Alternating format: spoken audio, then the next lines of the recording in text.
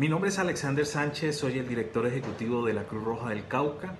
Quiero enviar un saludo a todas las autoridades locales y a la comunidad en general del municipio de Páez Cauca. Se conmemoran 26 años del terremoto de la avalancha del río Páez, la cual tristemente cegó la vida de más de mil personas.